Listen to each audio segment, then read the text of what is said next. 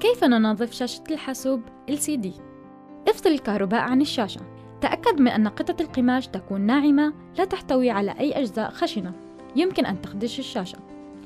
وعند التنظيف تذكر دائما أنه لا يرش الماء أو محلول التنظيف بشكل مباشر على الشاشة بل على قطعة القماش أولا ثم تمسح بها الشاشة. ونقوم بتجفيفها بقطعة قماش جافة على الفور. هل تعلم أن أول شاشة رآها الإنسان كانت شاشة السينما؟ وعمر تلك الشاشة أكثر من 112 سنة.